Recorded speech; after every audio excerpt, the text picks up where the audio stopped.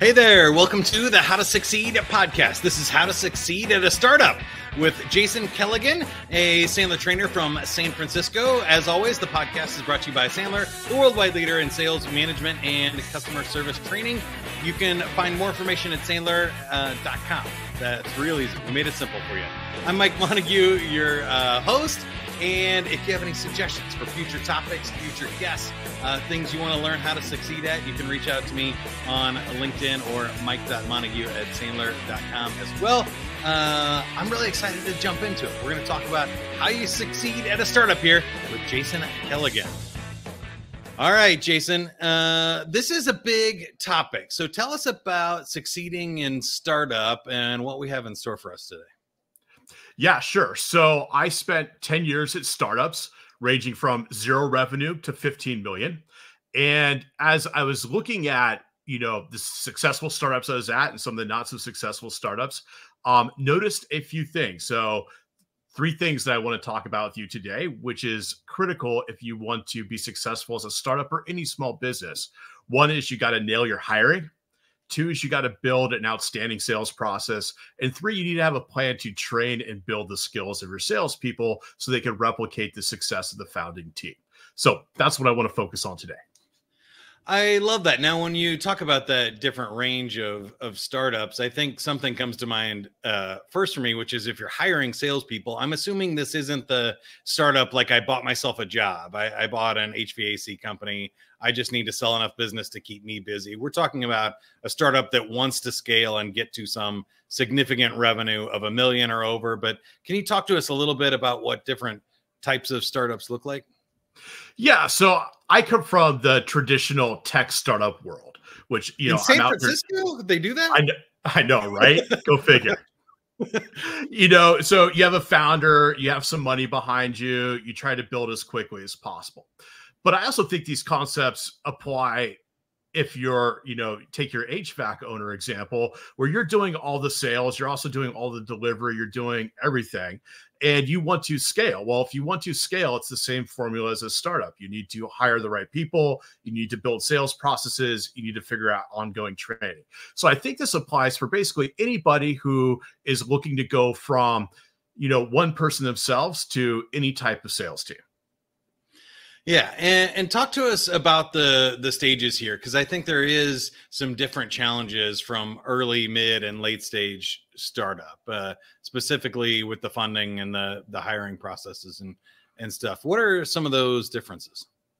Yeah, so if you're if you're in the one to three million, and, and again, I'm kind of using the traditional startup um, metrics that we use in San Francisco. This could be less depending on your industry. It could be more depending on your industry.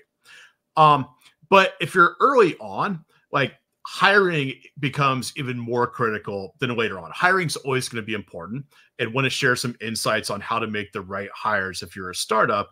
But the reason why is this. Uh, Mike, were, were, were you good at science in high school? I actually was. Yes, science knowledge yeah. bowl champion. Okay, so the scientific method, you you know exactly what I'm talking about. Right. So if you're an owner or a founder in a startup, it's a bit like a science experiment. And correct me if I'm wrong, but one of the biggest, one of the most important keys to a science experiment is controlling your variables. Mm. Right? Yeah. So like be, because if, if, four or five things go or happen differently each time, you'll never be able to figure out what is the cause and what's the effect. So when you're a startup, what you want to solve for, your first experiment, is how to take your product to market. Um, how to sell it. Will people buy? Why will they buy? Um, what hooks them? And the variable that you don't want to interfere with that is do I have a good sales team? Because the last thing you want to do six, nine, 12 months from, from when you make your first hire is to look back and say, sales aren't exactly what they should be is it because we don't have a good product? Are we in the wrong market? Or is my sales team kind of weak? So if you nail your your first two sales hires, you can eliminate that variable and solve for the other other issues that are going to be more strategic to your business. Does that make sense? Yeah, that's really smart because I feel like a lot of startups end up in that bucket. I've talked to a lot of people and they're like, "Well, something is wrong, right? Uh, it's either our team or our product or something, but or our messaging and marketing, but they don't know what. I think that's a really common early challenge. Um, anything else you think of in like I'm thinking of our attitude bucket here, common myths or misconceptions. You nailed it for early stage ones. Any other come to to mind for where people mess up their their startups?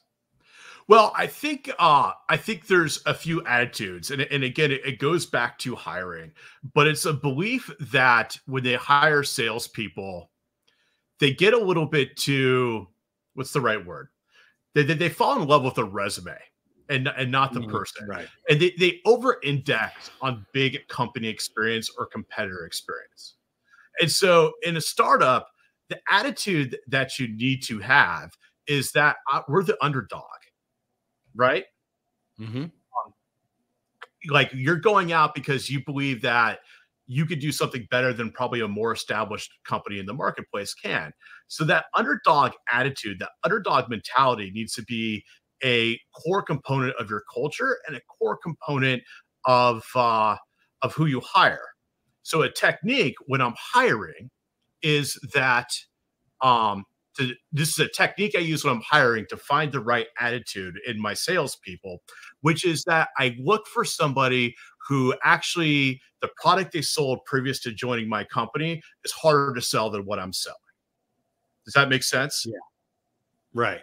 Yes you want to go uh, down, not up. So if you're selling like a real easy commodity, something everybody needs and wants, and you know, you got to somebody's gonna they're gonna buy toilet paper from somebody, they might as well buy it from me, is a lot different than a conceptual service like us as sales trainers and consultants, where you're selling an intangible at a really high price, right? That, that, that's exactly right. Or and you could look at like companies like um, I made a mistake of hiring people from Salesforce or Oracle because they have that really cool resume. But guess what? They're the favorites. They're not underdogs. They don't mm. have that mm. underdog mentality. Um, they have a lot of brand power that that that they they they, they, they, they didn't recognize. Um, I also look at who they sold to. Like if they were at Salesforce, they're probably selling to other salespeople. And Mike, I, will I'll be honest for myself. I'm an easy buy. I don't know about you. Salespeople are super easy to sell to. Yes, I've seen that from my father, who's been a Sandler trainer for 30 years, all the way up to the highest levels throughout our, our network of 400 trainers. Uh, salespeople love to buy. Yeah. Yeah. They love so to believe lo- other salespeople too. Yeah. You know who's freaking hard to sell to? Engineers. Yes. so I would much rather take a guy who has gone out and been successful selling to engineers even though that's not what my startup is doing because I know they know how to sell because they could go and do something that's very hard, which a startup is going to pre- present those same challenges. Wow, you're hitting on a lot of really great stuff because I can also see that what you mentioned earlier the demand creation versus demand fulfillment and, and stuff if we're selling an unknown versus a known commodity or um, we talk a lot in our training about people that are aware of a problem sometimes you have to kind of create the awareness that they don't even know your solution exists. Uh, so they're not a solution aware, but they might not even be problem aware that that they have a problem that's a bottleneck in their organization or something. So especially in startups, I feel like that happens a lot where we're solving a problem people don't know they have, or we have a new solution to a problem that they're not aware exists. And you do have to have those different conversations. Then, like again, like I said, they've been buying computers, networking services, or toilet paper for their whole life. They they know the problem, they know the solution to it. So those are really good. Now I want to skip ahead a little bit because we got a lot to to cover here. But I think as soon as you nail that hire or those first few hires, and you get to say three, five salespeople, now you have the sales process problem where if you have two hires, if they're both doing it their own way, and like you said, they're real, they're rock stars, they crush it, they just go out there and they sell. That's fine. But as soon as you get to like five salespeople, you can't have five different lone wolves out there doing it differently and selling different products or different structures and and using different things. Otherwise, it becomes a mess. Uh, so, tell us about this next stage. Yeah. So this is this is a crucial stage where now you have you have some traction you want to figure out how to repeat it. And the only way, in in my opinion, that you can repeat anything and ensure that you get the same results, and this this goes back to the scientific method, is to have a process. Now, one of the challenges that I've seen at being a startup, and I see this with my colleagues who are still there, is that, oh man, and I I I feel like I'm gonna sound a little hard on people, but not no every, names, no names, Jason. No, no, but not every person understands actually what a sales process is. Um, and so they they use what I call frameworks or staging. Um, so they've had their stages in Salesforce, and they're like, okay, we have a sales process, or they have a mm. framework like, and I, and I don't know, I'm sure you're you're familiar with this, Mike, MEDDIC, MEDDPICC, etc., right. which are great frameworks, but it's also not a sales process. And so one of the mistakes that I've seen made is that we confuse frameworks and staging for a process. We think we have something in place, we don't. And then, you know, you realize again a year later, things aren't working and you can't now go back and figure out why because you don't have a process that's giving you consistent results. I'll zoom in even further on that because at Sandler, we talk a lot about our methodology, which is on top of that too. So the frameworks are great uh, because they kind of tell you what you're looking for. Um, but the process is the how. Like, are we going to do a demo? Is there some sort of trial? Like, how many meetings does it take to close? Like, what what does our proposal or presentation look like? That's the how we get to a sale. And then we have the Sandler methodology about sort of why people are doing it and why these structures exist and uh, why people would qualify to move to the next stage of the sales process. And that's completely different. And you're right. I, I think a lot of startups find one of those three and they think they've got it, but they really don't until you have every step in the sales process laid out. And then you use those other frameworks to set up gates of why somebody would move to the next stage as a qualifying or disqualifying event, right? Yeah, that, that's exactly right. And, and, so to take a technique, and and I'd like to expand on something you mentioned a few minutes ago, which is that um, when you're a startup, you might have a solution that's new that people haven't really thought through. So if your sales process is that I'm just going to do a demo and I'm just going to show my features and benefits, um, that actually might not work because they don't really quite understand how those features and benefits impact them. So, part of your sales process is building the right questions that you're going to ask at each of these stages to get them to understand the problems that they're trying to deal with. And then you can start to tie in those features and benefits on the demo to those. If you don't have that step in your process of really good question asking as one of your techniques, your demo is going to fall flat. You're not going to win as many deals as you should have. And again, you're going to be a year late, uh, a year uh, looking back and be like, okay, what did we do wrong? I can't figure this out. Yeah, really good stuff there. So I, I think about in this one really nailing like uh, the right thing at the right time, right? So can we get all five people collecting best practices, sharing those within the team? We've got a, a 30 second commercial or prospecting process down. We've got in sale discovery process, all those questions. Now we've got closing and presentation and a standard deck people can use and and pull slides. And we know what uh, solutioning looks like, right? There's a lot to build out here. Are there any others that jump out for you before we move on to the, the next stage? I mean, there's so many, but I'd like to point out something that you just illustrated, Mike, is that what you named off are not are, are, are a series of techniques, but also a series of behaviors that each salesperson needs to execute every single time. And so not only do you have to have a process, you also have to have a plan to measure each of those behaviors to ensure that all your reps are doing these things. Because again, if some are and some aren't, when you start to make sense of your data, you're not going to be able to come to any conclusions about what's working and not working. Yeah, you need these systems in place. They need to be educated, and you need this common language, which brings us to stage number three. That's probably going to require some onboarding, training, and especially as we get to the next stage of scale. So now we're moving from maybe five salespeople. If we want to scale up fast, it could be hundreds or thousands of salespeople that we work with here at Sandler. that's where you can uh, shameless plug call a Sandler trainer and outsource it. But you better get your training and onboarding in place, right? That's right. And I learned this the hard way because I didn't think about this until it was happening in real time. And when I was a CRO, I hired a Sandler trainer because I needed the problem fixed. So you're exactly right. But let me set the stage a little bit. So your first few hires, let's say one through five, they're going to learn the job mostly through osmosis. Like they're going mm-hmm. to have a lot of access to the VP of sales. They're going to have a lot of access to the CEO. They they're going to figure things out. Um, when I only had a few people working for me, I was watching all of their calls on Gong. I was giving them great feedback on Gong. I was dissecting everything that they're doing.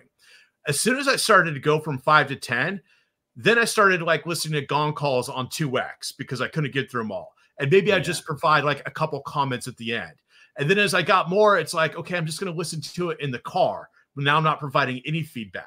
And so the further that you get from your first five hires, they're not going to get that learning by osmosis. And if you're thinking, well, the first five people don't need didn't need training, I don't need to do it for the next five or ten. You're going to be dead wrong. You're going to get a bunch of salespeople. They don't know what they're doing. Nobody's speaking the right language. People are missing numbers. They're losing confidence, and you're going to be in a mess. So I feel like this is really where we can talk about how Sandler solves these and some of the stuff that that we train because uh, it gets overly complicated here, but it can also be pretty simple. That we have to measure some of those deficiencies. We need assessments and benchmarking to find out what is the the process, what are our best salespeople doing, what do we need to replicate.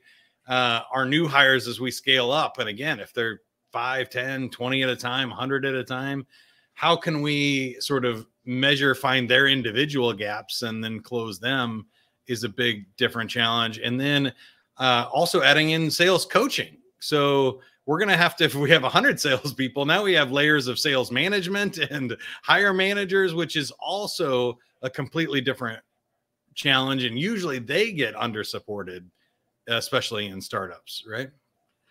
You're 100% right. So a few things there um, working backwards. So, like the sales coaching, most VPs that I've been around, um, or even CEOs, if they're running the, the the sales team directly, are good at coaching.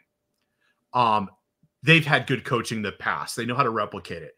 But sales managers who you're who are now doing the coaching don't really have the experience of coaching, and they're not very good at it. They're good at what I'd call asking check the box questions. Have you met with this person? Have you done this? Have you done this?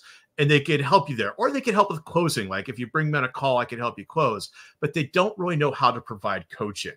Um, and so the sales team doesn't really grow at the rate it should be, given how the organization's growing numerically to keep up with the with their revenue goals.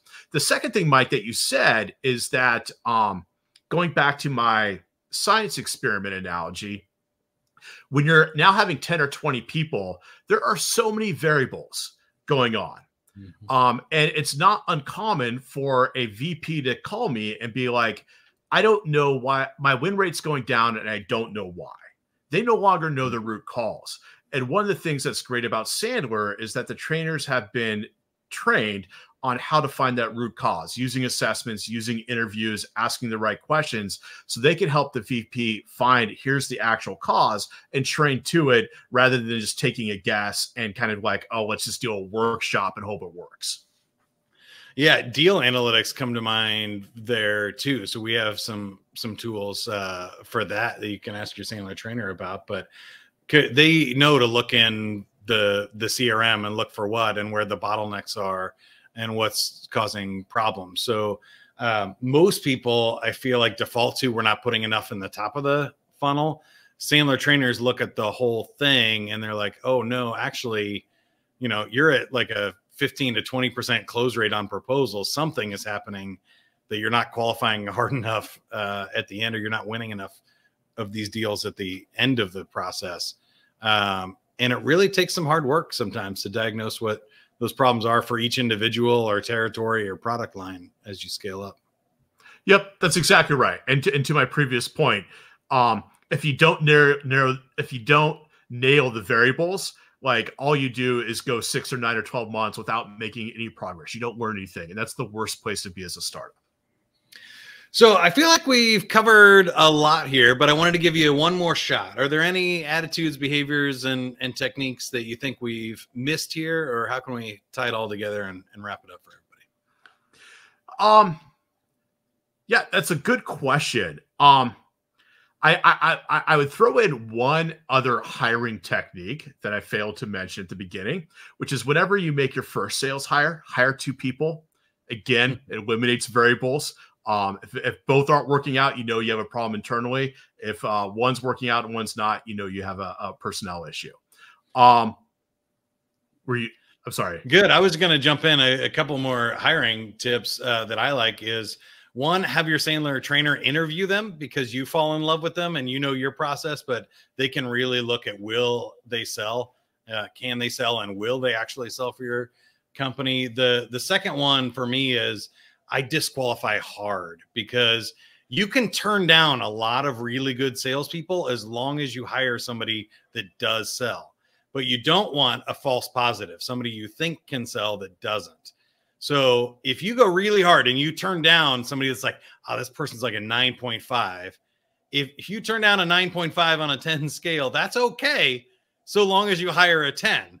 If that's you, right. If you hire a four, that doesn't work. Should have gone the other way. But you can be really hard and make them go through a lot of hoops and you know and, and, then you can even overpay if you're getting somebody that is really great but all of those other challenges come from if you hire somebody that doesn't end up selling that's right I, I feel like founders owners vps of sales when they're at a stage have a little bit of head trash when it comes to hiring I need to find the first warm body that wants to work for me. Nobody's going to want to mm-hmm. work for me, et cetera, et cetera.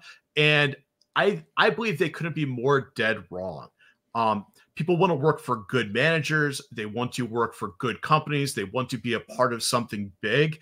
Um, I know when I took a, my job at a first startup, I took a lower base than what I was making before because I wanted to be in that environment. And so it doesn't always come down to money or competing with the big folks. Sell them on the vision, sell them on who you are, sell them how you're going to help them grow, and you'll be able to get high quality people.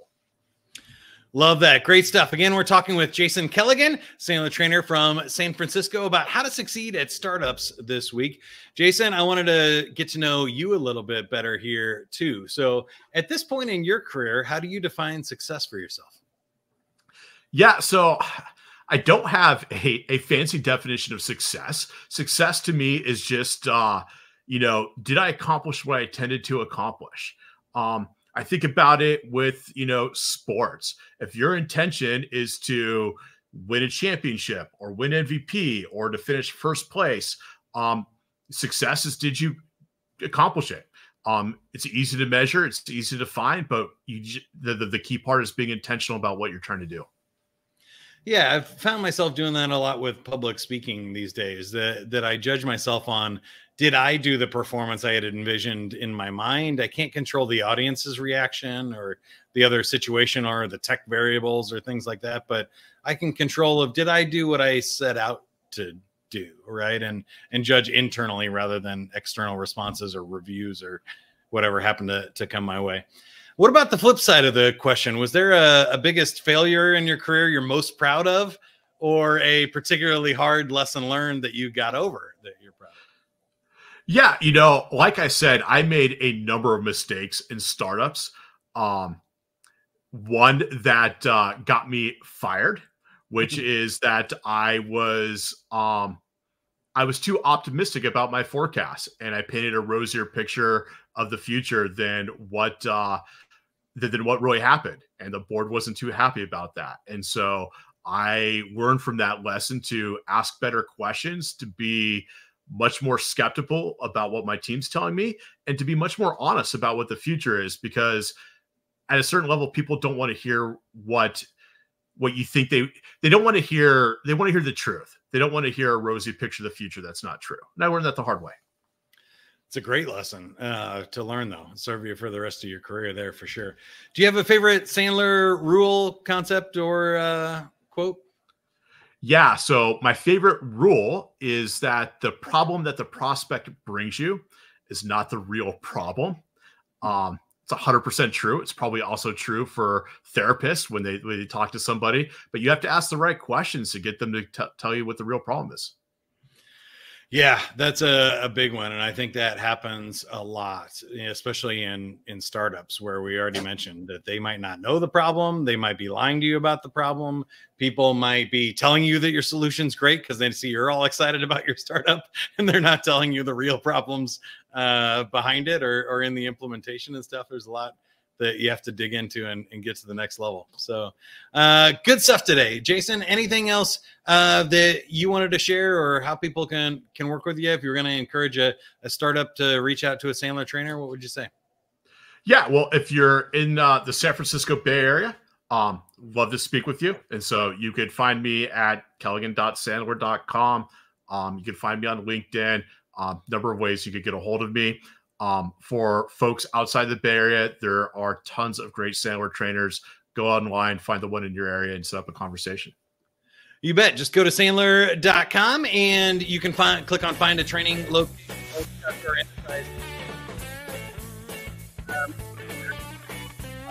there's still good lessons along the way, and we have an enterprise team that can help you with those big uh, international contracts or uh, multi-location uh, businesses as well. That's always super fun. Don't forget to subscribe to the podcast in your favorite app. Share it with somebody that you think needs to hear it, or uh, reach out to us if you have any ideas for future guests and topics.